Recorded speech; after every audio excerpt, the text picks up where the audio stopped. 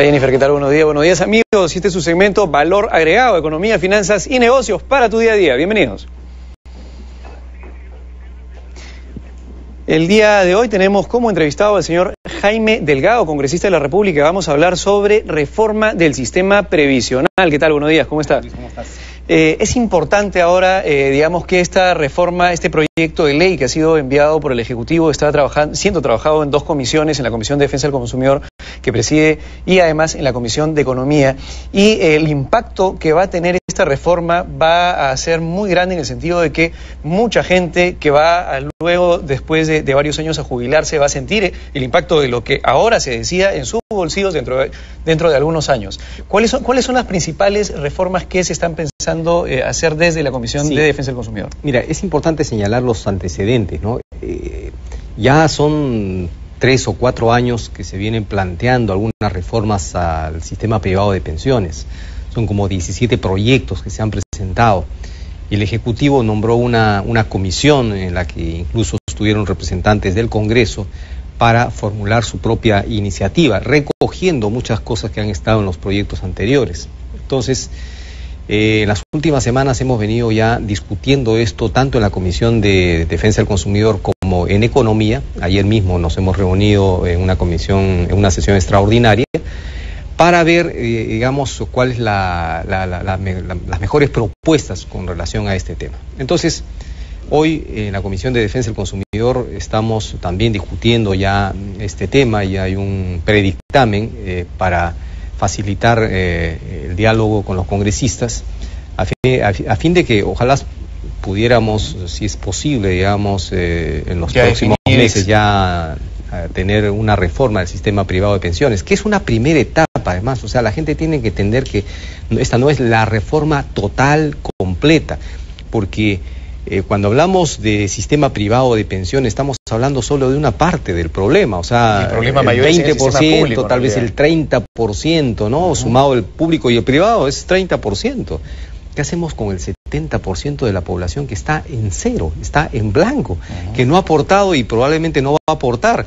Eh, y eso ya nos está generando un problema tremendo. Entonces, una segunda etapa va a tener que ser esa. Entonces, las reformas que se hagan ahora tienen que estar de algún modo empatando o generar canales o dejar cabos para ver cómo tendría que ser la reforma integral del, del, sistema pensionario en nuestro país. Ahora, en este punto exclusivamente de la reforma del sistema privado de pensiones, el proyecto de ley que el Ejecutivo ha enviado al Congreso y que ahora, por ejemplo, está en la Comisión de Defensa del Consumidor, ¿ha sido bien recibido? ¿Va a haber alguna modificación sobre este proyecto de ley? La gente está esperando saber si es que este proyecto de ley va a tener un apoyo del legislativo o no.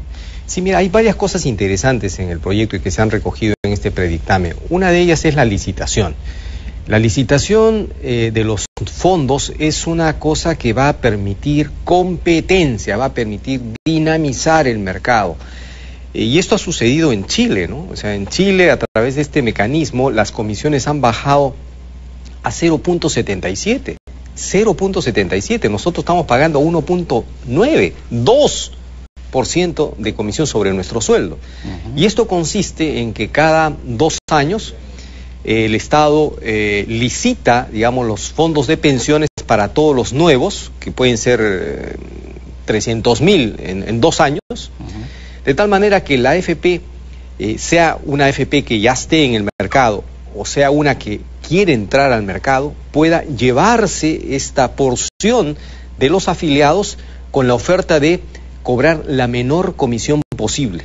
Gracias a ese mecanismo es que en Chile han logrado bajar notablemente el cobro de comisiones. Ahora, Repito, pero hasta 0.77. Pero, pero el señor Valdivieso, por ejemplo, comentaba que no solamente es importante que se baje la comisión, que es como bajar el precio de un servicio, sino también que el servicio se ofrezca bien. Eso significa, por ejemplo, tratar de maximizar la rentabilidad del aporte o del, eh, digamos, del fondo de las personas. La experiencia también te dice que en Chile, luego de las licitaciones, estas nuevas AFPs han mantenido, se han mantenido dentro del rango de rentabilidad promedio de las AFPs. Entonces, pero si sucediera que viene una AFP que te cobra una muy baja comisión, pero luego no está ganando los índices de rentabilidad promedio, promedio mercado. del mercado, tú tienes derecho a salirte. O sea, está planteada esa posibilidad. O sea, y ustedes se han adoptado ese, cambio dentro de Así es, porque eso, eso te permite, digamos, generar un incentivo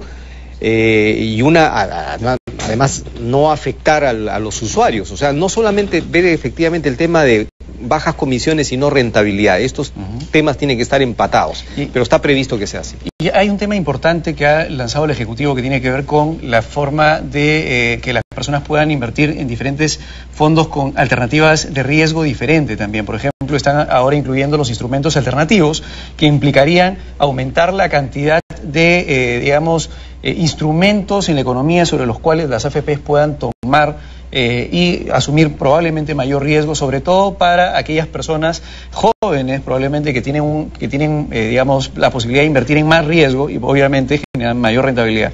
¿Ustedes también están de acuerdo sí, sí, yo creo que sí, eso es necesario, ¿no? O sea, diversificar los instrumentos de inversión para las AFPs, porque eso va a permitir de que puedan asegurar, digamos, o mayor rentabilidad, ¿no? Con, eh, sobre todo, como dices, eh, en un sector de los afiliados en donde pueden darse el lujo de arriesgar más. No así, digamos, las personas de 60 años o 65 que están casi a punto de jubilarse. Y pero en cuales se está creando el fondo cero. Se está creando el fondo cero, que es un fondo estable, digamos, eh, sin mucha volatilidad, sin mucho riesgo, ¿no? Pero además se está planteando de que las comisiones que cobren las AFP sean comisiones por tipo de fondos, porque lo que pasa actualmente es que las AFP nos cobran un solo tipo de comisión, 1.9 o 2, sea que estemos en el fondo 1, 2 o 3. Que cuando, son diferentes manejos de cartera. cuando el fondo 1, sabes, es prácticamente poner la plata en el banco, o sea, no hay trabajo alguno.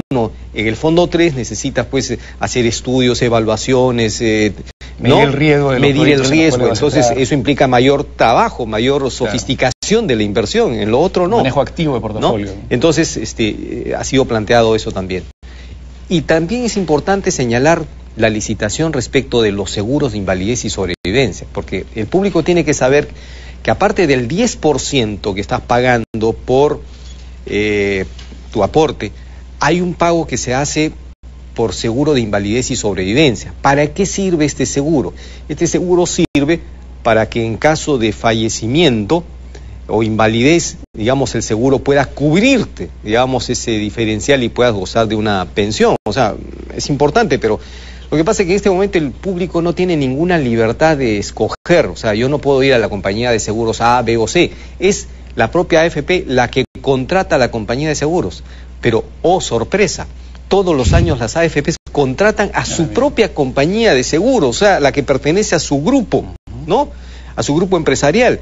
Entonces, eh, afectando a los trabajadores, por cierto, ¿no? Para beneficio suyo, porque ¿por qué yo contrato a mi compañía de seguros pagando dos puntos más que la compañía de al frente, ¿no? Entonces, se ha establecido eh, en la propuesta de que estos seguros sean licitados de manera conjunta de manera conjunta para evitar esos conflictos de interés. Bajo el mismo esquema de la menor comisión, igual que en el tema de los fondos, de administración de eh, fondos. Sí, pero eh, o sea, no se va a licitar solo para una compañía de seguros, ¿no? sino todo el bloque. Para todo el bloque, pero además segmentado por, por edades y por, por riesgos, ¿no? De tal manera que no entre sobre una compañía, sino varias, pero digamos cubriendo cada una. Ahora, este tema nos lleva a otro tema que es bien importante y que se está viendo también en la propuesta del Ejecutivo y en varios proyectos de ley que estaban en el Congreso, que es el tema del gobierno corporativo, o sea, las buenas prácticas de forma tal que las AFPs y los afiliados tengan los intereses completamente alineados y estén pensando siempre en lo mismo, ¿no? En ese caso, por ejemplo, se ha, eh, eh, digamos, propuesto poner un director independiente dentro de las AFPs. ¿Esta propuesta del Ejecutivo se está tomando en el Legislativo? Pero no, no, solamente eso, ¿no? sino que eh, la propuesta señala de que las AFPs tienen la obligación de regirse por reglas de buen gobierno corporativo. Entonces, esto es súper importante porque para que el público entienda.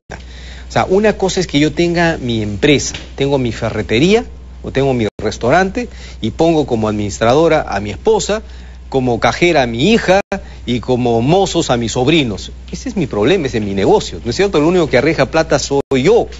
Pero cuando yo administro fondos de pensiones, que son fondos del público, y, son millones, son más de 30 mil millones de dólares, entonces Aquí las reglas de buen gobierno corporativo parten porque yo genere mayor transparencia. ¿Para qué? Para que el dueño de la empresa, que es, en este caso son grandes consorcios o grupos empresariales, no estén realizando prácticas que beneficien solamente a su grupo, sino que beneficien a la razón de ser que son los afiliados. Entonces, ¿a quién voy a poner como auditor? ¿A quién voy a poner como director? ¿A mi amiguito, a mi sobrino, a mi cuñado?